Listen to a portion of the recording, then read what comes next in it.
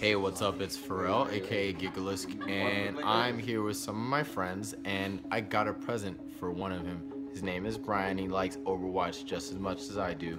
Say hi, Bryan.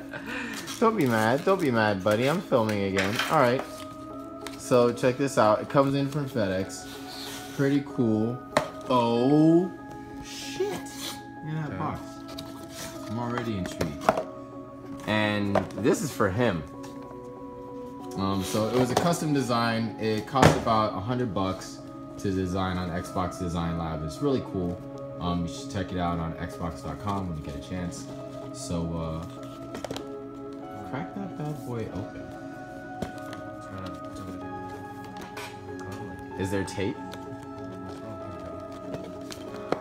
Oh. Oh. There is tape. There is. So there's tape. Be wary of that if you're if you got to think about boxy quality. Wow. Looks nice. That is sick. And then so the colorway is uh um all black with rubberized grips on the back. Show me the grips. Show me the grips. Um, and you can also make some of the things metallic, like the triggers. So I got metallic art for the triggers.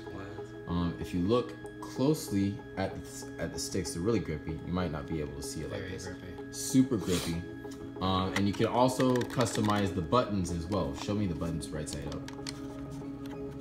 So um, I customize if you put it more toward the light so I can see how the, the metal.